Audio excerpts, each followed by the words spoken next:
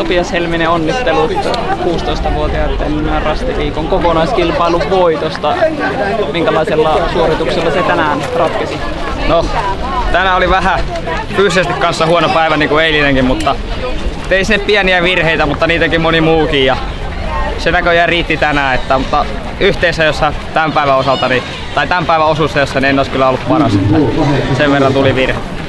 Näytätkö siitä kartalta vaikka missä, missä oli haastavin, haastavimpia paikkoja tänään? Siitä on palkintosyöt jaettu ja siirretään mm. sen sarjan seuranta sivuun. Ja no noi rinteet oli ylipäänsä tosi pahoja, että Eli H18 Viidesvasteet tulee seiskalle tuli iso ajautuminen, että en huomannut tätä ylhäältä menevää polkua ja lähdin täältä alhaalta tekemään ja ajaudun tonne aukolle asti. Ja sieltä oli sitten kauhea kapuaminen tonne rastille.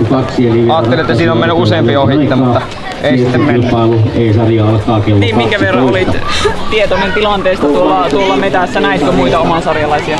No oli aika jännä kisa, että ketään en nähnyt matkalla ja ajattelin siellä tosiaan, kun tuli noita isoja virheitä pari, että siellä on mennyt useampi kaveri ohi ja isältä piti huutaa loppusuoralla, että monessa on sijoitus tällä hetkellä. Että oletin olevan niin neljäs viides itse, että näköjään se sitten parempi. Minkälaisena yllätyksenä se tuli, kun kuulit sitten, että sinä ensimmäisenä sieltä tulee? No oli se tosi iso yllätys, että en mennä uskoa, että huusin vielä uudestaan. Että, mutta onhan se nyt ihan hienoa, että voitti tänään ja koko kisan. Minkälainen kokemus tästä rastiviikosta noin ylipäätään jäi?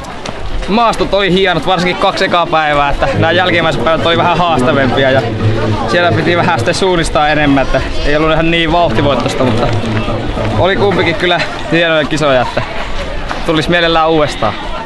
Mikä on sinun seuraava kisatapahtuma? Varmaan Tampere-suunnistus on varmaan seuraavat sitten tuolla kotikulmilla, että sinne varmaan sitten seuraavaksi.